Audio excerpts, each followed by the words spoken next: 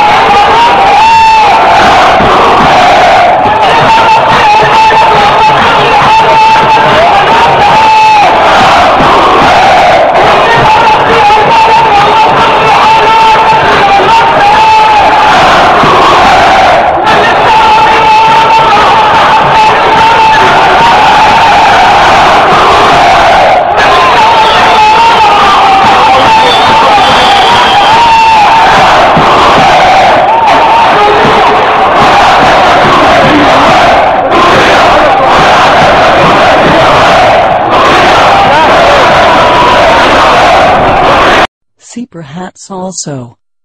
Info evidence, 24th April 2005.